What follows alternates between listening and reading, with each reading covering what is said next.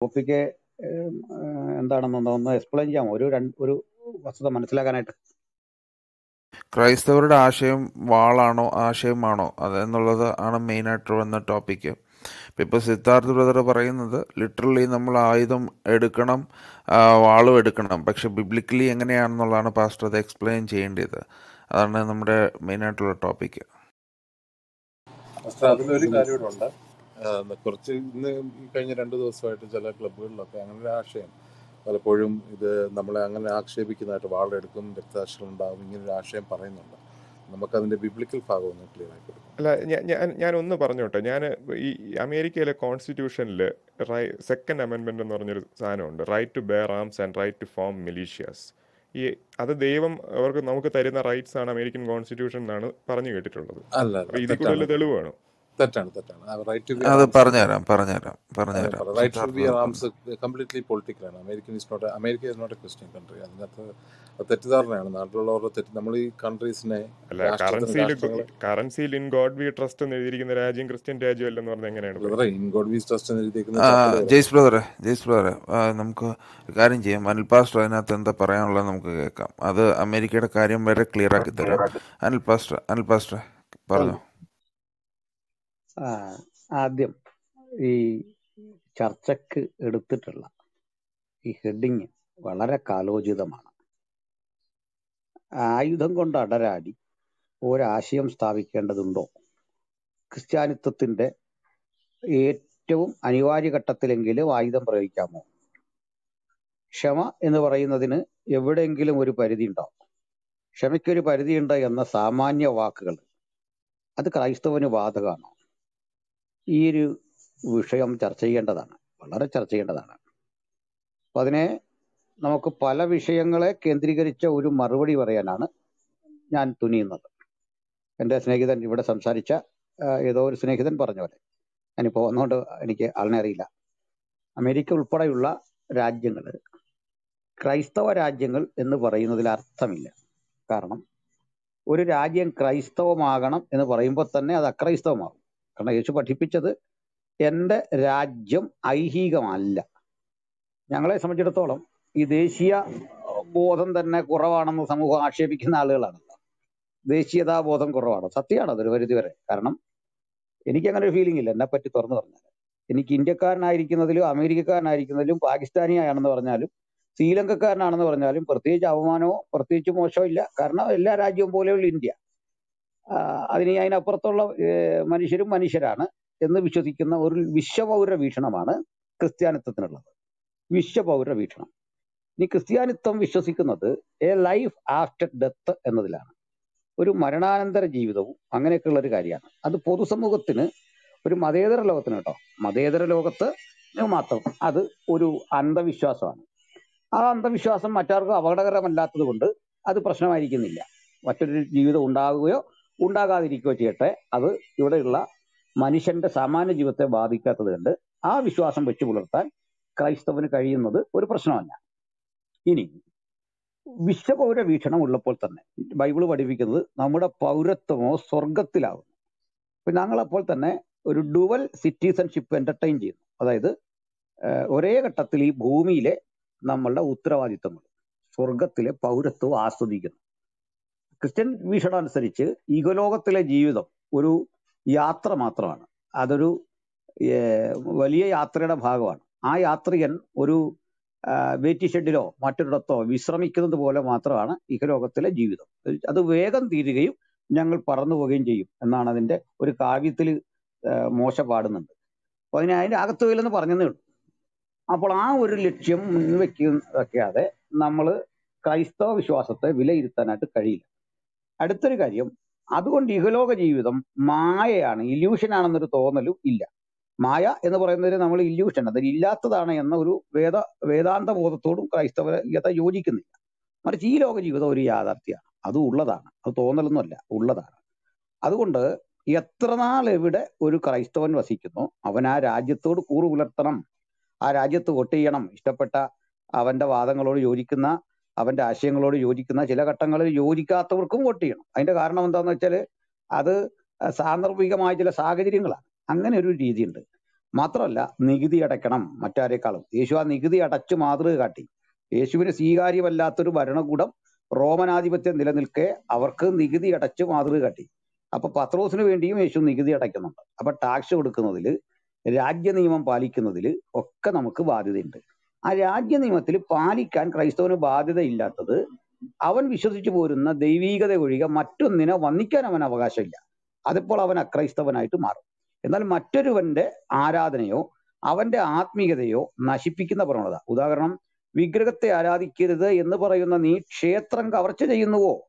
അല്ലെങ്കിൽ അങ്ങനെ പഠിപ്പിച്ചിട്ട് നിങ്ങൾ പോയി ക്ഷേത്രത്തിൽ പ്രാർത്ഥിക്കുന്ന ഒരുവരെ അവനെ എന്തിനാ ആക്ഷേപിക്കുന്നത്? അവന്റെ ലോകത്ത് അവന് സ്വാതന്ത്ര്യമുണ്ട്. അത് ആരുടെ ഔദാര്യമല്ല. അപ്പൊ അവനും ഇവിടെ ജീവിക്കാം. അങ്ങനെയുള്ള ആളുകൾക്കും അവരുടെ സ്വാതന്ത്ര്യം ഉപയോഗിച്ച് ജീവിക്കാന്ന് മാത്രമല്ല അത് നമ്മുടെ ആരുടെയും ഔദാര്യത്തിലുമല്ല. അപ്പോൾ അങ്ങനെ ബഹുസ്വരതയെ കൂടി അത് ഉൾക്കൊള്ളുന്നു. പക്ഷെ അതിന് ലിമിറ്റ് അതിന്റെ ലിമിറ്റേഷൻ എന്ന് പറഞ്ഞാൽ ബഹുസ്വരതയുടെ പേരിൽ അത്തരം ആചാരങ്ങളെ അക്സെപ്റ്റ് ചെയ്യുന്നത് ക്രിസ്തീയമല്ല. കാരണം ക്രിസ്ത്യാനിറ്റിക്ക് പ്രത്യേകിച്ച് ആചാരമില്ലെന്ന് ആദ്യം മനസ്സിലാക്കണം.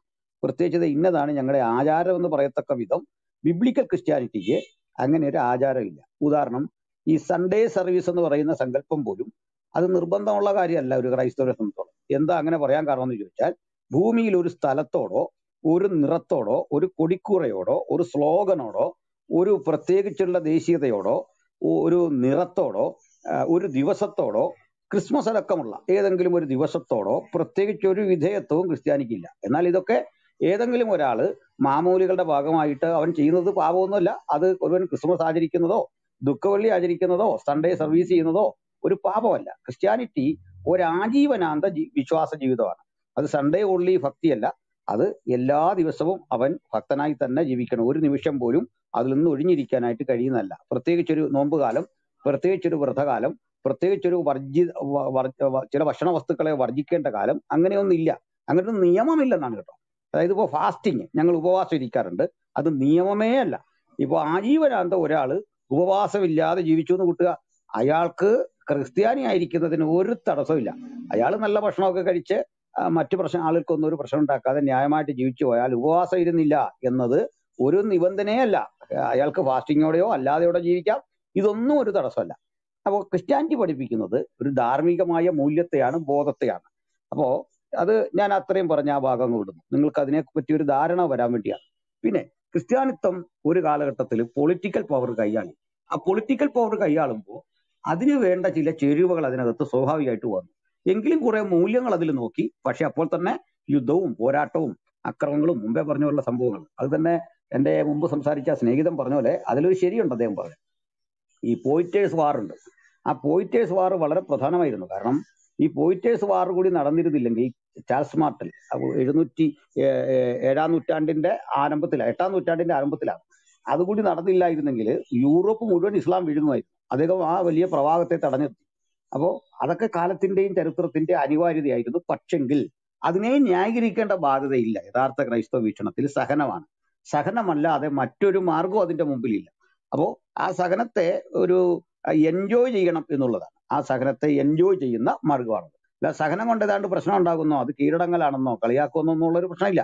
സഹനം എൻജോയ് ചെയ്യണം. അത് ഏത് എക്സ്ട്രീമിലും തിരിച്ചടിക്കാനോ ഉപദ്രവിക്കാനോ കഴിയില്ല. അങ്ങനെ ഒരു ബോധമില്ല. ഇപ്പൊ ഞാനൊരു എക്സാമ്പിൾ പറയാം. ഞങ്ങളുടെ യോഗങ്ങൾ നടക്കുന്ന ഇടം. ആ യോഗങ്ങൾ ഒരു ആറു മണിക്കോ ആറരയ്ക്കോ പ്രാർത്ഥിച്ച് ആരംഭിക്കുന്നു. മാക്സിമം ഒൻപത് മണിക്കുള്ളിൽ അത് ക്ലോസ് ചെയ്യും. പത്ത് മണി വരെയാണ് നമ്മുടെ രാജ്യത്ത് മൈക്ക് ഉപയോഗിക്കാനുള്ള അനുമതി. ഞങ്ങൾ ഒമ്പത് മണിയോടുകൂടി ക്ലോസ് ചെയ്ത് അവസാനത്തെ ആൾ അവിടുന്ന് പിരിഞ്ഞിരിക്കും. അടുത്ത കാര്യം അതിൽ ഹോൺ ഉപയോഗിക്കാറില്ല. ഇത് മരത്തിൽ കെട്ടി വെക്കുന്ന ഹോൺ ഉപയോഗിക്കാറില്ല. നിരോധനം വന്ന ശേഷം ബോക്സ് ഉപയോഗിച്ച് അവിടെ കേൾക്കാവുന്ന അത്രയും ആളുകൾക്ക് വേണ്ടിയാണ് ആ യോഗം സജ്ജീകരിക്കുന്നത്. ആ യോഗത്തിൽ വരുന്ന പ്രസംഗകർ അന്യമത വിദ്വേഷം നടത്താറില്ല. പക്ഷെ ഈ യോഗത്തെയും കടന്നു വന്ന് ആക്രമിക്കുന്നവരുണ്ട് തല്ലുന്നവരുണ്ട്. പക്ഷേ ഇത്രയും ആളുകൾ ഇരിക്കുന്ന പത്തയ്യായിരം വേദിയിൽ പേരിരിക്കുന്ന ഒരു സ്ഥലത്ത് വെച്ച് ഒരുവനെ തല്ലുമ്പോൾ അയാൾ അത് കൊള്ളുന്നതിന്റെ പേരിൽ തിരിച്ചടിക്കരുതില്ല എന്നിട്ടൊന്നുമല്ല അത്രയും പേരുള്ള ഈ മനുഷ്യൻ ബാക്കിയാണോ? രണ്ടോ മൂന്നോ പേര് ബാക്കിയാണോ? അതൊന്ന് വളഞ്ഞാൽ മാത്രം മതി. പക്ഷെ അത് കഴിയില്ല. കഴിയില്ല എന്ന് മാത്രമല്ല ആരെങ്കിലും തലതെറിച്ച പിള്ളേരുണ്ട് അവരെ പിന്തിരിപ്പിക്കും. നിങ്ങൾ അതിന് ചെയ്യരുത് എന്ന് പറഞ്ഞ് അവരെ പിന്തിരിപ്പിക്കും. അത്തരം ഒരു ബോധ്യമാണ് ശരിക്കും ഞങ്ങൾ സമൂഹത്തിന് വെച്ചു കൊടുക്കുന്നത്. തിരിച്ചടിക്കുക എന്നുള്ള ഒരു കാര്യമേ അതിനകത്ത് വരുന്നില്ല. ഇനി അടുത്തത്. ഒരു ഐഹിക രാജ്യത്തെ കുറിച്ചുള്ള പ്രതിവാദ്യങ്ങൾ ഒത്തിരി ഈ രാജ്യത്ത് വന്നിട്ടുണ്ട്. അവയെല്ലാം തന്നെ ഏതാണ്ടൊക്കെ പരാജയപ്പെട്ട കാര്യങ്ങളാണ്. തോമസ് മൂറിന്റെ യൂട്ടോപ്പിയ എന്ന് നമ്മൾ കേട്ടിട്ടുണ്ടല്ലോ. പ്ലേറ്റോയുടെ ആദർശ രാഷ്ട്രം. അത് നടന്നില്ല. റിപ്പബ്ലിക്ക് വിജയപ്രദമായി നടന്നില്ല.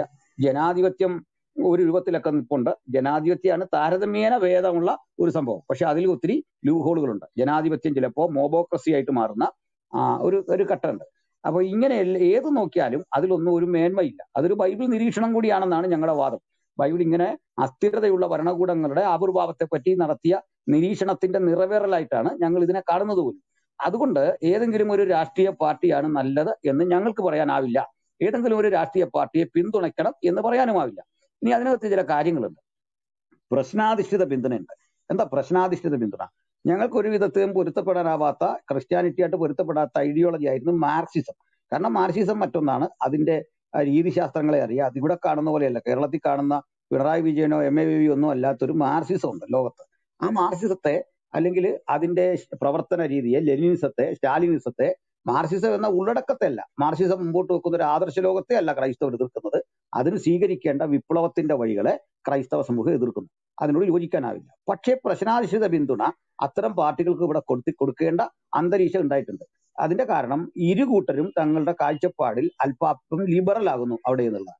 അപ്പോൾ സ്വാഭാവികമായിട്ട് ചില മണ്ഡലങ്ങളിൽ ഇപ്പൊ എടുത്തു പറഞ്ഞാൽ പെന്തക്കോ സമൂഹങ്ങൾക്ക് സ്വാധീനമുള്ള ഇടങ്ങളിലൊക്കെ തന്നെ ഇടതുപക്ഷത്തിലാണ് അവർ പരമ്പരാഗതമായിട്ട് പിന്തുണയ്ക്കുന്നത്. അത് അധികം നാളായിട്ടില്ല. ഒരു പരമ്പരാഗതം ആയിട്ടല്ല. ഒരു രണ്ടായിരം ആണ്ടിന് ശേഷമാണ് ഒരു തൊണ്ണൂറ്റി അഞ്ചിന് ശേഷം ആയിരത്തി തൊള്ളായിരത്തി തൊണ്ണൂറ്റി അഞ്ചിന് ശേഷമാണ് ഈ നായനാറിന്റെ ഒരു സർക്കാർ വരുന്ന ഒരു കാലത്താണ് ആ, കരുണാകരന് ശേഷം ആന്റണിക്കൊക്കെ ശേഷം വരുന്ന ആ കാലഘട്ടത്തിൽ മുതലാണ് ഇടതുപക്ഷത്തേക്ക് പെന്തക്കോസ്ത് വോട്ടുകൾ പോകുന്നത്. അതിനു മുമ്പ് കൃത്യമായിട്ട് തന്നെ പള്ളികളിൽ നിരീശ്വരവാദത്തിനെതിരെ അരിവാൾ ചുറ്റിയ നക്ഷത്രത്തെ എയിം ചെയ്തുകൊണ്ടൊക്കെ പ്രസംഗിക്കുന്ന കാലം ഞാൻ ഓർക്കുന്നുണ്ട്. അതിനുശേഷം സംഭവിച്ചത് ആർ എസ് എസിന്റെ ആക്രമണത്തെ ചെറുക്കാൻ വേണ്ടിയിട്ട് ഇടതുപക്ഷ കക്ഷികൾ അത് ഒരു സാഹചര്യമാക്കി മാറ്റി. അതായത് ഇന്ന് സംഘപരിവാരങ്ങൾ ക്രൈസ്തവ വോട്ടുകൾ ഹൈജാക്ക് ചെയ്യാൻ എങ്ങനെ ശ്രമിക്കുന്നുവോ അതേ വിധത്തിൽ അന്ന് വന്ന് ഇടതുപക്ഷ കക്ഷികൾ അനുകൂലമായ ഒരു പരിസ്ഥിതി ഉണ്ടാക്കിയിട്ടുണ്ട്.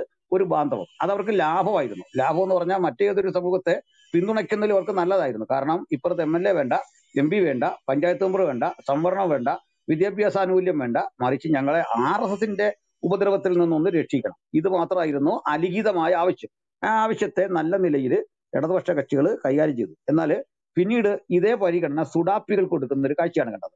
സുഡാപ്പികൾ ഏത് ക്രൂരത ചെയ്താലും ഇടത് ഗവൺമെന്റുകളും വലത് ഗവൺമെന്റുകളും ഒരുപോലെ അവരെ പിന്തുണയ്ക്കുകയും സംരക്ഷിക്കുകയും ചെയ്യുന്ന ഒരു സ്ഥിതിവിശേഷം സംജാതമായി. സ്വാഭാവികമായിട്ട് സംഘപരിവാരങ്ങൾ ആ ഒരു അവസരം മുതലെടുക്കാൻ വേണ്ടിയിട്ട് അത് ഞാൻ തെറ്റായിട്ട് പറയുന്നല്ല ആ ഒരു അവസരം യൂട്ടിലൈസ് ചെയ്യാൻ വേണ്ടിയിട്ട് പിന്നെ ക്രൈസ്തവ പാളയത്തിലേക്ക് വരുന്നു. ഇനി കേരളത്തിൽ പെന്തക്കോ സഭകൾ ഇങ്ങനെയാണ് പ്രവർത്തിക്കുന്നതെങ്കിൽ കേരളത്തിന് പുറത്ത് കത്തോലിക്കിന് പ്രവർത്തിക്കുന്നതും വളരെ ത്യാഗസമ്പന്നമായിട്ടാണ് ത്യാഗസന്നദ്ധരായിട്ടാണ് പ്രവർത്തിക്കുന്നത്. ഇവിടെ എന്ത് പ്രതിസന്ധി പെന്തക്കോ സഭകൾ നേരിട്ടോ ഇതുപോലെയാണ് കാത്തലിക്സും ഇതര ക്രൈസ്തവരും ഒക്കെ നേരിടുന്ന പ്രയാസങ്ങൾ ഇതുപോലെ തന്നെയാണ്. അവരുടെ കന്യാസ്ത്രീകൾക്ക് നേരെ സംഘപരിവാര പക്ഷത്തു നിന്ന് ആക്ര ബലാത്സംഗം ഉൾപ്പെടെയുള്ള ആക്രമണങ്ങൾ ഉണ്ടായി. ഛത്തീസ്ഗഡിലൊക്കെ വലിയ ആലയങ്ങൾ തല്ലിത്തേർക്കപ്പെട്ടു കർണാടകയിൽ പോലും അതിദാരുണമായിട്ട് അവർ പീഡിപ്പിക്കപ്പെട്ടു. ഈ ഒരു അന്തരീക്ഷത്തിൽ അവരും പരിക്ഷീണരാണ്. അങ്ങനെയുള്ള ഒരു പൊതുസ്ഥിതി ഇന്ത്യയിൽ നിൽക്ക ചെയ്ത് ഞങ്ങൾ ഇത് ഞാനിത് പറയുമ്പോൾ തന്നെ എനിക്ക് സംഘപരിവാരങ്ങളോട് പ്രത്യേകിച്ച് ഒരു വിരോധമില്ല മറ്റേ എന്താ പറയുന്നത് ജിഹാദികളോടും ഇല്ല. കാരണം ഇതിങ്ങനൊക്കെയാണ് എന്ന് ഞങ്ങൾ വ്യക്തമായിട്ട് മനസ്സിലാക്കിയിട്ടുണ്ട്. വളരെ മനസ്സിലാക്കിയിട്ടുണ്ട്. അപ്പോ ഈ വസ്തുതയിൽ നിന്ന് എനിക്ക് ഉൾക്കൊള്ളാനാവുന്ന പാഠം ഒരു രാഷ്ട്രീയ കക്ഷിയും ആത്മാർത്ഥതയോടെ അല്ല ഇത്തരം അജണ്ടകൾ ഏറ്റെടുക്കുന്നത്. ഒരു കക്ഷിയിലും ഇത്തരം ആത്മാർത്ഥത കാണാനാവില്ല. അപ്പൊ മൂന്ന് പ്രബല കക്ഷികൾ എടുക്കാം. കോൺഗ്രസ് പാർട്ടി എടുക്കാം. സി ഇടതുപക്ഷ കക്ഷികൾ എടുക്കാം. അതുപോലെ ബി ജെ പി എടുക്കാം. അപ്പൊ ഈ മൂന്ന് കക്ഷികൾക്കും വേണ്ടത് അവർക്കൊരു അജണ്ടയുണ്ട്. ആ അജണ്ടയ്ക്ക് വേണ്ടി എങ്ങനെയാണ് ഒരു സമൂഹത്തെ മാറ്റിമറിക്കാൻ പറ്റുന്ന ഒരു പ്രീണന നയം? ഇതെല്ലാം പ്രീണനം തന്നെയാണ്. പ്രീണനത്തിനപ്പുറത്ത് ഇതിനൊരു അർത്ഥമൊന്നുമില്ല എന്നാൽ അവിടെ ഒരു കാര്യം കൂടെ ഉറപ്പായിട്ട് പറയാം. എന്റെ വ്യക്തിപരമായ ഒരു കാര്യത്തിൽ ഇതിൽ ആരും ഇത് ആരുടെയും പിന്തുണ എനിക്ക് ആവശ്യമില്ല എന്ന് പറയുന്ന ഒരാളാണ്. അതിന്റെ അർത്ഥം ഒരു മനുഷ്യൻ നിലയിലല്ല ഒരു ക്രൈസ്തവൻ എന്ന നിലയിൽ. ഒരു മനുഷ്യൻ നിലയിൽ എനിക്ക് എല്ലാവരുടെയും പിന്തുണ ആവശ്യമുണ്ട്. ഒരു പൗരൻ എന്നുള്ള നിലയിൽ എനിക്ക് എല്ലാവരുടെയും പിന്തുണ ആവശ്യമുണ്ട്. പക്ഷെ ഒരു ക്രൈസ്തവരെ ക്രിസ്ത്യാനി ആയിരിക്കാനും ബൈബിളിന്റെ പ്രചാരണത്തിനും ആരുടെയും പിന്തുണ ആവശ്യമില്ല. അത് നിരസിക്കല്ല മറിച്ച് ആ പിന്തുണയിൽ ഒളിഞ്ഞിരിക്കുന്ന ഒരു അപകടം കൃത്യമായി തന്നെ ക്രൈസ്തവ സമൂഹം മനസ്സിലാക്കേണ്ടതുണ്ട്. കാരണം ചില തരം കിടണ്ട ജണ്ടകൾ അതിന്റെ പിന്നിലുണ്ട്. ഉദാഹരണം നമ്മളിപ്പോൾ ആ, ധാരാളം ആളുകൾ ബി ജെ പിയിലേക്ക് ആഹ്വാനം ചെയ്തുകൊണ്ട് അവർക്ക് ആണ് ഭരിക്കുന്നത് കൊണ്ടാണ് ബി ജെ പി ഭരിക്കുന്നതുകൊണ്ടാണ് സുഡാപ്പികൾ വലിയൊരു ആക്രമണം അഴിച്ചുവിടാത്തത്. ഞാനതൊന്നും കരുതുന്നില്ല. കാരണം അതെന്ന് വെച്ചാൽ ബി ജെ പി പണ്ടുകൂടെ ഭരിച്ചിട്ടുണ്ടല്ലോ. ഈ അന്ന് അക്രമങ്ങൾ ഇവിടെ നടന്നിട്ടുണ്ടല്ലോ. ഞാൻ കരുതുന്നത് ഇവിടെ ഒരു ശക്തമായ ഒരു ജുഡീഷ്യൽ സംവിധാനമുണ്ട്. ബി ജെ പിയുടെ നേതാക്കളെ അകത്തിടുന്ന ഒരു ജുഡീഷ്യൽ സംവിധാനമുണ്ട്. ഗുർമീത് സ്വാമിക്കും അകത്ത് കിടക്കേണ്ടി വരുന്ന ഒരു ജുഡീഷ്യൽ സംവിധാനമുണ്ട്. ആ ജുഡീഷ്യൽ സംവിധാനത്തിൽ വിവരവും ബോധവുമുള്ള അഡ്വക്കേറ്റ്സ് ഉണ്ട്. അവർ വന്നിട്ട് അതുപോലെ തന്നെ ജഡ്ജിമാരുണ്ട്. അപ്പൊ അവിടെ വാദിച്ചെടുക്കാൻ അല്ലെങ്കിൽ അങ്ങനെ വാദിച്ച് നീതിയുക്തമല്ലാത്തൊരു സ്ഥിതി വന്നാൽ രാജ്യാന്തര തലങ്ങളിൽ ഇന്ത്യ എന്ന രാജ്യം അതിനെ മറ്റ് ലോകരാഷ്ട്രങ്ങൾ വിമർശിക്കും. ഇങ്ങനെയുള്ള ജുഡീഷ്യൽ സമ്മർദ്ദമുണ്ട്. അപ്പൊ ഇവിടെ വിശ്വസനീയമായ ഏകദേശം കേട്ടോ ജുഡീഷ്യറിയും കറക്റ്റഡ് ആണ് കുറെയൊക്കെ. എന്നാൽ ഇന്നും ഏതാണ്ടൊക്കെ വിശ്വസിക്കാൻ പറ്റുന്ന ജുഡീഷ്യറി എന്ന ഒരു സംവിധാനമുണ്ട്. ആ സംവിധാനം ആരുടെയും കുത്തകയല്ല. അത് നിയമം മൂലം നിലവിൽ വന്ന ഭരണഘടനയും പീനൽ കോഡും ക്രിമിനൽ പ്രൊസീജിയർ കോഡും ഒക്കെ ഉൾക്കൊള്ളുന്ന ഒരു സംവിധാനം ഇവിടെ ഉണ്ട് ആ സംവിധാനത്തിന്റെ ബലത്തിലാണ് ഞാൻ നിൽക്കുന്നത്. ബൈബിൾ കഴിഞ്ഞാൽ പിന്നെയുള്ള എന്റെ വീക്ഷണഗതി ബൈബിൾ തരുന്നൊരു അവകാശവും സ്വാതന്ത്ര്യമുണ്ട് ആ സ്വാതന്ത്ര്യം മറ്റ് രാജ്യങ്ങൾ വെച്ച് തരണമെന്നില്ല. പക്ഷെ ഇന്ത്യയിലെ സ്ഥിതി അതല്ല. ഇന്ത്യയിലെ ഞാൻ പ്രസംഗിക്കുന്നതും പ്രവർത്തിക്കുന്നതും ഒരു പുരോഹിതനായിരിക്കുന്നതിന്റെയും മാനദണ്ഡം ഇന്ത്യയിൽ അങ്ങനെ ഇരിക്കാം. അത് ആരുടെ ഔദാര്യമല്ല. അത് സംഘപരിവാരത്തിന്റെ അല്ല ചൂടാപ്പിയുടെ അല്ല അല്ലെങ്കിൽ മറ്റൊരു സമൂഹത്തിന്റെ അല്ല. അത് ഭരണഘടനാ ദത്തമായ ഒരു അവകാശമാണ് ഈ അവബോധമാണ് ജനങ്ങളിൽ കൊടുക്കേണ്ടത്. അല്ലാതെ ഇവരെ ആക്രമിക്കാൻ വരുന്നു? അപ്പൊ ഞങ്ങൾക്ക് ഇവിടെ വന്ന് തടഞ്ഞത് ആർ എസ്സുകാരാണ് അല്ലെ ഡിവൈഎഫ്ഐക്കാരാണ്. മറ്റവർ അപ്പുറത്ത് നിന്നു എന്നാൽ ഇപ്പൊ ഇവർ ഇപ്പുറത്ത് നിന്നു. ഇങ്ങനെയുള്ള കാര്യത്തോട് ആ രീതിയിലുള്ള ഒരു പരി ഒരു ചിന്തയോട് തന്നെ നമ്മൾ വിട പറയേണ്ട ആളുകളാണ്. ആ രൂപത്തിലല്ല കാര്യങ്ങളെ കാണേണ്ടത്. എന്താണ് അങ്ങനെ മനുഷ്യൻ ചിന്തിക്കുന്നതെന്നും എനിക്കറിയില്ല. ഏതായാലും ഈ കാര്യത്തിൽ ഉണ്ടാകേണ്ട ഒരു തീർപ്പ് എന്നത് ക്രൈസ്തവൻ രണ്ട് കാര്യങ്ങളെ കുറിച്ച് ബോധവാനായിരിക്കണം. ഒന്ന് അവൻ വിശ്വസിക്കുന്ന അവൻ വോട്ട് ചെയ്യുന്ന രാജ്യത്തിലെ ഭരണഘടന. ആ ഭരണഘടന നന്നായിട്ട് പഠിക്കണം. ആ ഭരണഘടന ഒറ്റവന് വാദിക്കാൻ സാധിക്കണം. ആ ഭരണഘടനയിലൂടെ തന്നെ അവകാശങ്ങളെ നേടിയെടുക്കാൻ സാധിക്കണം. ഒന്നാമത്തെ കാര്യം. രണ്ടാമത്തെ കാര്യം അവൻ ക്രിസ്ത്യാനിത്വത്തിന്റെ ഉരകല്ല് അതിന്റെ അടിസ്ഥാനമുണ്ട് അതിന്റെ ഉള്ളടക്കമുണ്ട്. ആ ഉള്ളടക്കം വെച്ച് ചിന്തിച്ചാൽ അത് വളരെ മനക്കോട്ടായ ഒരു ജീവിതമല്ലേ? ആദർശാധിഷ്ഠിതമായ ഒരു ജീവിതമാണ്. കാരണം ആരെയും കൊല്ലാത്ത ആരെയും ഉപദ്രവിക്കാത്ത ആരുടെയും ഒന്നും പിടിച്ചെടുക്കാത്ത ആദർശാധിഷ്ഠിതമായ ഒരു ജീവിതം. ആ ജീവിതം ഒരു ക്രിസ്ത്യാനി നയിക്കുന്നതിന് ഹിന്ദുവിന് എന്തെങ്കിലും തടസ്സമുണ്ടെന്ന് എനിക്ക് തോന്നുന്നില്ല. അങ്ങനെ നയിക്കാത്തതിലാണ് അവരുടെ പ്രശ്നം. കാരണം നമ്മളിൽ ചില മൂല്യങ്ങൾ കുറവാണെന്ന് ഹിന്ദു സൗരന്മാർക്ക് ബോധ്യം വരുന്നു. മുസ്ലിങ്ങൾക്ക് ബോധ്യം വരുന്നു. നമ്മൾ ഈ പ്രസംഗം മാത്രമേ ഉള്ളൂ. ജീവിത മൂല്യങ്ങൾ കാണാതെ വരുമ്പോൾ അവർ നമ്മളെ എതിർക്കുന്നു. അല്ല ഇവിടെ വേറെ പ്രശ്നമൊന്നും നിലനിൽക്കുന്നില്ല. ഇനി നമ്മൾ എന്തിനാണ് ഇവിടെ ഇത്തരത്തിലുള്ള മുസ്ലിം സമൂഹത്തെ എതിർക്കുന്നത്? ആ മുസ്ലിം സമൂഹത്തെ എതിർക്കേണ്ട ചില കാര്യങ്ങളുണ്ട്. ഹിന്ദു വിശ്വാസ സംഹിതകളിൽ ചിലതിനെ എതിർക്കേണ്ടതുണ്ട്. പക്ഷെ അതിൽ ഹിന്ദുക്കളുടെ ഒരു പ്രത്യേകത എന്ന് പറഞ്ഞാൽ ദുരാചാരങ്ങളായിട്ട് ഭവിക്കുന്നവയെ അവ പരിഷ്കരിച്ചെടുക്കുന്നു എന്നുള്ളതാണ്. ഉദാഹരണം സതി. ഇപ്പൊ സതി ഒറ്റപ്പെട്ട് പിന്നീട് രൂപ് കൻവറിന്റെ കാലത്ത് ഒക്കെ മരണമൊക്കെ നമ്മൾ കണ്ടിട്ടുണ്ടെങ്കിൽ കൂടി മൊത്തത്തിലുള്ള ഹിന്ദു മനസ്സ് സതിക്ക് എതിരാണ് തീർച്ചയായിട്ടും എതിരാണ്. അതിൽ നിന്ന് അങ്ങനെ പാടില്ല എന്നുള്ള നിലയിലേക്ക് ദുരാചാരങ്ങളിൽ നിന്ന് ഒത്തിരി അത് മുമ്പോട്ട് പോയ ഒരു മതമാണ്. രണ്ടാമതായിട്ട് അതിൽ ചാതുർവർണയമാണ് അതിലെ വിഷലിപ്തമായ മറ്റൊരു ഗസറ്റ് എന്ന് പറയുന്നത്. ആ ചാതുർവർണയത്തെയും ഓവർകം ചെയ്യാൻ പരമാവധി അവർ ശ്രമിച്ചുകൊണ്ടിരിക്കുന്നു. ദലിതർക്കും മറ്റാളുകൾക്കും ഒക്കെ താന്ത്രിക വിദ്യ പഠിക്കാനും ഒക്കെയുള്ള സംവിധാനങ്ങൾ ഉണ്ടാകുന്നു. അത് എത്രത്തോളം ശരി എന്നൊക്കെ ഉള്ളത് രണ്ടാമത്തെ കാര്യം. വിജയിക്കുമെന്നുള്ളത് രണ്ടാമത്തെ കാര്യം. അപ്പോൾ ഏതായാലും ഇതിനെ അതിജീവിക്കണം എന്ന ഒരു ബോധം അതിലുണ്ടെങ്കിൽ ക്രൈ ക്രിസ്ത്യ വിശ്വാസത്തിൽ ലെ പ്രശ്നം എന്ന് പറഞ്ഞാൽ അതിന്റെ അവതരിപ്പിക്കപ്പെട്ടതിൽ ഒത്തിരി കുഴപ്പങ്ങളുണ്ട്. സഭകളുടെ തമ്മിലുള്ള ക്ലാഷ് തിയോളജിക്കൽ ആയിട്ടുള്ള വ്യതിയാനതകൾ അതുണ്ടാക്കിയ വ്യക്തിപരമായ അകലങ്ങൾ. പക്ഷെ ഞങ്ങൾ എപ്പോഴും പറയുന്നത് ചർച്ചുകൾ തമ്മിൽ ഈ പ്രശ്നമുണ്ടെങ്കിൽ നിങ്ങൾ ക്രിസ്തുവിലേക്ക് മടങ്ങുക അല്ലെങ്കിൽ നിങ്ങൾ തിരികെ വേദങ്ങളിലേക്ക് മടങ്ങുക അതായത് പുതുനിയമ ചിന്തയിലേക്ക് അപ്പോസ്തോലിക പഠനങ്ങളിലേക്ക് മടങ്ങുക എന്നാണ് ഞങ്ങൾ പഠിപ്പിക്കുന്നത്. അപ്പൊ നമ്മൾ ക്ലിയർ ആകും. അപ്പൊ യേശുവിലേക്ക് നോക്കുക നിങ്ങൾ കറക്റ്റ് ആകും. അപ്പൊ നിങ്ങൾക്ക് യാതൊരു പ്രശ്നവും പിന്നെ ഉണ്ടാവില്ല എങ്ങനെ? നിങ്ങളൊരു നല്ല മനുഷ്യനാകും. നിങ്ങളുടെ മദ്യപാനം മാറും നിങ്ങളുടെ പാപ സ്വഭാവം മാറും നിങ്ങൾ അയൽക്കാരനെ ബഹുമാനിക്കാൻ പഠിക്കും. ഞാൻ അയൽക്കാരനെ ബഹുമാനിക്കാതെ ക്രിസ്ത്യാനിയായിരുന്നിട്ട് കാര്യമൊന്നുമില്ല. ഇപ്പോ അയൽവക്കത്തുള്ളൊരു ഹിന്ദുവിനെ ശത്രുവായിട്ട് കണ്ടു നടത്തുന്ന ഒരു ട്രീറ്റ്മെന്റ് ഉണ്ട്. അതെല്ലാം തെറ്റും പാപവും തന്നെയാണ്. പക്ഷെ ഞാൻ ക്രിസ്തുവിലേക്ക് മടങ്ങിയാൽ എനിക്ക് അങ്ങനെ കാണാൻ പറ്റില്ല. കാരണം ക്രിസ്തു വിമർശിച്ചത് ആഭ്യന്തര വിമർശനങ്ങളാണ്. ബൈബിൾ ആഭ്യന്തര വിമർശനങ്ങളാണ് സ്വന്തം സമൂഹത്തെ ആണ് വിമർശിച്ചത്. ഇനി ഇസ്ലാമിനെ വിമർശിക്കുന്ന ഈ രണ്ട് കാരണങ്ങളാലും അല്ല. ക്രിസ്ത്യാനിറ്റി പരിഷ്കരണത്തിന്റെ വഴികളെ അംഗീകരിച്ചിട്ടുണ്ട്. ഹിന്ദുയിസം പരിഷ്കരണത്തിന്റെ പാതയിലാണ്. ഒത്തിരി അത് ശുദ്ധമായിട്ടുണ്ട്. ചാതുർവർണയത്തിന്റെയും ബ്രാഹ്മണിക്കലായ ആ മേധാവിത്വത്തിന്റെയൊക്കെ അന്തരീക്ഷത്തിൽ നിന്ന് അത് ഒത്തിരി ഒത്തിരി മാറിയിട്ടുണ്ട് മാറിക്കൊണ്ടേ ഇരിക്കുന്നുണ്ട്. അത് ശാസ്ത്ര സാങ്കേതിക വിദ്യകളും കാലത്തിന്റെ പുരോഗതിയുമായിട്ട് പൊരുത്തപ്പെട്ടു പോകാൻ ശ്രമം നടത്തുന്നുണ്ട്.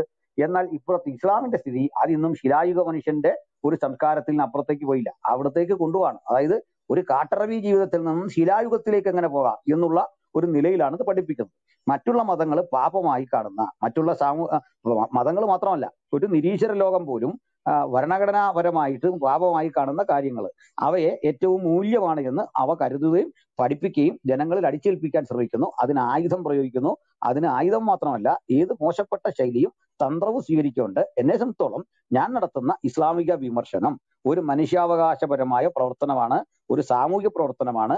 അത് സ്ത്രീ വിരുദ്ധതയ്ക്കെതിരെയുള്ള എന്റെ നിലപാടാണ് പീഡോഫീലിയക്കെതിരെയുള്ള എന്റെ നിലപാടാണ് സാമൂഹ്യ തിന്മകൾക്കും സദാചാര വിരുദ്ധതയ്ക്കുമെതിരെയുള്ള എന്റെ നിലപാടാണ്. ഇതാണ് ഇപ്പോൾ നടന്നുകൊണ്ടിരിക്കുന്ന പ്രശ്നങ്ങളുടെ ആകത്തുകയിലുള്ള വിലയിരുത്തൽ. ഓക്കെ. ഒരു കാര്യം അല്ല ഒന്ന് റിപ്ലൈ ചോദിക്കണം എനിക്ക് അ, ഒരു സെക്കൻഡ് ഉണ്ടായിരുന്നു. ആ ആ പറഞ്ഞോ സിദ്ധാർത്ഥ് പറഞ്ഞു. അല്ല ഇപ്പൊ ഇപ്പൊ പാസ്റ്റർ പറഞ്ഞ നമ്മൾ പാസ്റ്ററിന്റെ അത്ര വലിയ ആളൊന്നും അല്ല നമ്മൾ ബൈബിൾ വിദഗ്ധനൊന്നും അല്ല പക്ഷെ ഈ ക്രിസ്ത്യാനികൾ ആരും പേട്രിയോട്ടിക് അല്ല ആവത്തില്ല. അങ്ങനെയൊക്കെ വിചാരിക്കുന്നത് എന്തുകൊണ്ടാണ്? ഇപ്പൊ അങ്ങനെ ആവണമെന്നല്ലേ നമ്മൾ വിചാരിക്കുന്നത് ഇപ്പൊ അമേരിക്കയിലെ അമേരിക്കയിലുള്ളത് ക്രിസ്ത്യൻസ് അല്ലേ അവരെന്ത് പേട്രിയോട്ടിക് മനുഷ്യരാണ്. അതുപോലെ പോളണ്ട് ഓസ്ട്രിയ റഷ്യ ഇതൊക്കെ എന്ത് ആത്മാഭിമാനവും പേട്രിയോട്ടിക്കും ആയിട്ടുള്ള ക്രിസ്ത്യാനികളാണ് അവിടെ ഉള്ളത്. നമുക്കും അതുപോലുള്ള ആൾക്കാരെ വേണമെന്നേ നമുക്കും ഉള്ളൂ. പിന്നെ താങ്കൾ എന്താണ് ഈ പറയുന്നത്? ഈ പിന്നെ കോൺസ്റ്റിറ്റ്യൂഷൻ ഉപയോഗിച്ച് അവരെ നേരിടുക. ഇങ്ങനെ ആരെ നേരിടാനാണ്? ഇങ്ങനെ നമ്മൾ ഒരുമിച്ച് ഒരേ സമൂഹത്തിൽ ജീവിക്കുന്ന ആൾക്കാരല്ലേ? അപ്പൊ ഇങ്ങനെ കോൺസ്റ്റിറ്റ്യൂഷൻ ഉപയോഗിച്ച് നേരിട്ട് തർക്കിച്ച് തോപ്പിക്കുക ഇങ്ങനെയൊക്കെ പറയുന്നത് എന്തിനാണ് സാർ? ഇത് ഈ ഭാരതം ഉണ്ടായ ഈ ഭാരതം ഈ ഇന്ത്യ ഉണ്ടായത് നയന്റീൻ ഫോർട്ടി സെവനിലാണ് ഈ കോൺസ്റ്റിറ്റ്യൂഷൻ ഒക്കെ വരുന്നത് അപ്പോഴാണ്.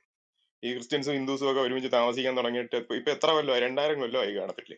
മിനിമം അപ്പൊ നിങ്ങൾ എന്തുവാണ് ഈ പറയുന്നത്? അങ്ങനെയൊക്കെ ഈ ആയുധം ഉപയോഗിച്ച് അങ്ങനെയൊന്നും പറയേണ്ട ഒരു ആവശ്യമില്ല സാർ. ഇത് വളരെ കൃത്യമാണ്. ഇത് ആരുടെ സൈഡിലാണ് നിൽക്കേണ്ടത് ഇങ്ങനെ ക്രിസ്ത്യൻസ് ഇങ്ങനെ ഡിപ്രഷൻ അടിച്ച് നിൽക്കേണ്ട ആവശ്യമൊന്നുമില്ല. ഇത് നിങ്ങൾ രണ്ടായിരം കൊല്ലം നിങ്ങൾ സിദ്ധാർത്ഥ ഒരു ക്ലാരിറ്റി വരുത്തണം. ഈ ആയുധം ഉപയോഗിച്ചെന്ന് പറഞ്ഞത് എന്താന്ന് മനസ്സിലായില്ല. അതൊന്ന് വ്യക്തമാക്കാവോ? അല്ല അത് ഈ കോൺസ്റ്റിറ്റ്യൂഷൻ ഉപയോഗിച്ച് നിങ്ങൾ കോൺസ്റ്റിറ്റ്യൂഷനെ ഇന്ത്യൻ കോൺസ്റ്റിറ്റ്യൂഷനെ നിങ്ങൾ ആയുധമായി എടുക്കു എടുത്ത് ഹിന്ദുക്കളെ ആയിട്ട് തർക്കിക്കൂ. ഇങ്ങനെയൊക്കെ എന്തിനാണ് പറയുന്നത്? അദ്ദേഹം അങ്ങനെ പിന്നെ അദ്ദേഹം എന്തൊക്കെയാണ് പറയുന്നത്? ഇന്ത്യയിൽ ഭയങ്കര ജുഡീഷ്യൽ സിസ്റ്റം ഭയങ്കര ഗംഭീരമാണ്. അപ്പൊ എന്താണ് ഇദ്ദേഹത്തിന് കേരളത്തിലെ കേരളത്തിലെ ഹൈക്കോടതിയാണോ? ഇന്ത്യയിലെ ഏതാണ് ഈ ജുഡീഷ്യൽ സിസ്റ്റം ഇത്ര നന്നായിട്ട് ഇന്ത്യയിൽ ഓടുന്നത്? അല്ല ശരി ശരി. അല്ല ജയ്സ് ആൻസർ ഒരു ഒരു ഒരു ഒരു ത്രെട്ട് അതുകൊണ്ട് അല്ല ഒരു മിനിറ്റ് ഒരു മിനിറ്റ് അല്ല ജയ്സ് ബ്രദർ അല്ല ഒരു കാര്യമുണ്ട് കാര്യമുണ്ട് അതുകൊണ്ടാണ്. കൊടുത്തിടും പാസ്റ്റർ പാസ്റ്റർ പറഞ്ഞ ആ കാര്യത്തിൽ അദ്ദേഹത്തിന് ഒരു കൺഫ്യൂഷൻ വന്നിട്ടുണ്ട്. അതൊന്ന് ക്ലാരിറ്റി എടുത്താവോ ക്ലാരിറ്റി കൊടുക്കാൻ മാത്രമല്ല അദ്ദേഹം അഭിപ്രായം പറയുന്നതിൽ അസഹിഷ്ണുത വേണ്ട. അത് പറയട്ടെ കുഴപ്പമില്ല കാര്യമില്ല. അദ്ദേഹം പറഞ്ഞതൊരു തെറ്റിദ്ധാരണ വന്നിട്ടുണ്ട്. ഈ കോൺസ്റ്റിറ്റ്യൂഷൻ വെച്ച് തർക്കിച്ച് തോൽപ്പിക്കാന്നല്ല ഞാൻ പറഞ്ഞത്. കോൺസ്റ്റിറ്റ്യൂഷൻ നമുക്കുണ്ടാക്കുന്ന ഒരു ബോധവൽക്കരണമുണ്ട്. അതാ പറഞ്ഞത് ഉദാഹരണം അത് ഈ മദ്രസ പഠനത്തിന്റെ വിപരീത ദിശയിലെ കാര്യം പറഞ്ഞു. മദ്രസയിൽ എന്താ പഠിക്കുന്നത്? അന്യമത വിദ്വേഷം. രണ്ടാം ക്ലാസ്സിൽ പഠിക്കുന്ന കുഞ്ഞിനോട് ഹിന്ദുവിനെ മതപരിവർത്തനം ചെയ്യിക്കേണ്ട രീതി എങ്ങനെയാണ്? അല്ലെ ക്രിസ്ത്യാനിയെ മതപരിവർത്തനം ചെയ്യിക്കുമ്പോൾ ആദ്യം ചെയ്യേണ്ട ശ്രദ്ധിക്കേണ്ട കാര്യം എന്താണ്? ഇതൊക്കെയല്ലേ പഠിക്കുന്നത് ആ സ്ഥാനത്ത് ഈ സ്കൂളുകളിൽ നമുക്ക് ആവശ്യമില്ലാത്ത ഒത്തിരി സബ്ജക്ട് പഠിക്കാനുണ്ട് സ്കൂളിൽ ഒത്തിരി പേരുടെ പഴയ കവിതയും പഴയ പാട്ടും ഇതൊക്കെ പഠിച്ചുകൊണ്ടിരിക്കുകയാണ് അപ്പോൾ അത് പഠിക്കണം. പഠിക്കരുതെന്നൊന്നുമല്ല അത് ലിമിറ്റ് വെക്കണം. ഇത്രയും പാരാവാരപ്പരപ്പേറിയ സിലബസ് ഒക്കെ കളഞ്ഞിട്ട് പ്രായോഗികത വഴിയിൽ ഊന്നി കുഞ്ഞു പഠിച്ചു തുടങ്ങുക എന്താണ് ഭരണഘടന? അതിൽ നിങ്ങൾ ആരാണ് നമ്മൾ ആരാണ് ഹിന്ദു ആരാണ് മുസ്ലിം ആരാണ് അവരുടെ സ്വാതന്ത്ര്യങ്ങൾ എന്താണ്? അത് പഠിച്ചു പോകണം അത് ചെറുപ്പം മുതലേ പഠിച്ചു പോകുക വഴി ഈ രണ്ട് കുഞ്ഞും അതായത് ഹിന്ദുവായ ആളും മുസ്ലിമും അല്ലെങ്കിൽ ക്രിസ്ത്യാനിയും ഒരുപോലെ മനസ്സിലാക്കുകയാണ് എന്റെ അവരന്റെ സ്വാതന്ത്ര്യം എന്താണ് എന്റെ സ്വാതന്ത്ര്യം എന്താണ് അപ്പൊ ഇത് മനസ്സിലാക്കി കൊടുക്കാൻ ഭരണഘടന നല്ലൊരു ഉപാധിയാണ് എന്നാണ് ഞാൻ പറഞ്ഞത്. രണ്ട് അല്ല അതിന് അതിന് അതിന് എനിക്ക് എതിരെ അഭിപ്രായമുണ്ട്. കാരണം നമ്മുടെ ഭരണഘടന ഞാൻ പറഞ്ഞു കഴിഞ്ഞില്ല ഒരു സിദ്ധാർത്ഥ് ഒരു അനിൽ ഒരു സെക്കൻഡ് സിദ്ധാർത്ഥ് ഇത് കംപ്ലീറ്റ് ചെയ്തിട്ട് പുള്ളിക്കാരനെ രണ്ട് പോയിന്റ് ഒന്ന് കവർ ചെയ്തതിന് ശേഷം സിദ്ധാർത്ഥ് റിഫ്യൂട്ട് ചെയ്തോ? കുഴപ്പമില്ല ഞാൻ അവസരം തരാം. അനിൽ പാസ്റ്റർ കംപ്ലീറ്റ് ചെയ്യും. രണ്ടാമത്തെ കാര്യം ഈ ജുഡീഷ്യറി എന്ന് പറയുന്ന സംവിധാനം കുറ്റമറ്റതാണെന്ന് എനിക്ക് അഭിപ്രായമില്ല. അതിൽ ഇന്ന് സമൂഹത്തിൽ കാണുന്ന അതും എവിടെ ഇരിക്കുന്ന ജഡ്ജിയും അല്ലെങ്കിൽ മജിസ്ട്രേറ്റോ അല്ലെങ്കിൽ ജസ്റ്റിസോ അല്ലെങ്കിൽ വക്കീലും ഒക്കെ തന്നെ എന്റെയും നിങ്ങളുടെയും ബാക്കിയാണ്. സമൂഹത്തിന്റെ പരിച്ഛേദമാണ്. അപ്പൻഡിക്സ് ഓഫ് ദ സൊസൈറ്റിയാണ് അവരെല്ലാം. അവരിലും ഉണ്ട് ഇത്തരത്തിലുള്ള മാലിന്യം. പക്ഷേ വളരെ വ്യക്തമായിട്ടുള്ള പലതരം ഘടകങ്ങളാണ് അതിനെ വർക്കൗട്ട് ചെയ്യിച്ച് കറക്റ്റ് ഒരു ശരിയിലേക്ക് എത്തിക്കുന്നത്. അത് ജസ്റ്റിസ് ഡിലേ ചെയ്യപ്പെടുന്ന ജസ്റ്റിസ് ഉണ്ട്. പക്ഷെ അപ്പോൾ തന്നെ ഗുർമീതിനെ പോലെ ഒരാൾ ജയിലിലാണ്. കെ പി ഓനാനെ പോലെ ഒരാൾ കോടതി വ്യവഹാരത്തിൽ കോടതി തന്നെ കയറി ഇറങ്ങേണ്ടി വരികയാണ്. ഇങ്ങനെയുള്ള ഒരു രാജ്യമാണ് നമ്മുടെ. അതുപോലെ അച്ഛന്മാര് പീഡനം ഉണ്ട് എന്നുള്ള കേസിൽ അകപ്പെട്ടു പോയിട്ടുണ്ട്. അവരൊക്കെ അകത്ത് കിടപ്പുണ്ട്. അത് മറ്റൊരു രാജ്യത്ത് നടക്കുമോ മറ്റൊരു സംവിധാനത്തിൽ പാകിസ്ഥാനിൽ നടക്കുമോ ഇങ്ങനെ ഒരു കാര്യം? നടക്കില്ല.